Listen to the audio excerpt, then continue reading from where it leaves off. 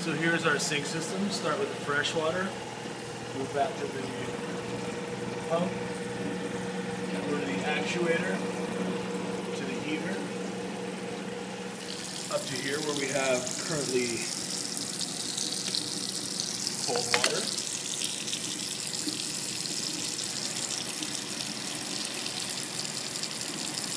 And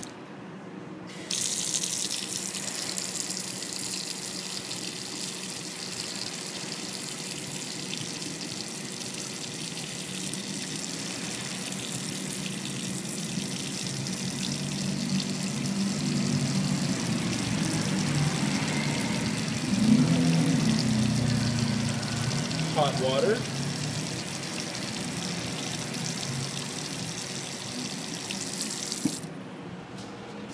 And down to our drain. That's it.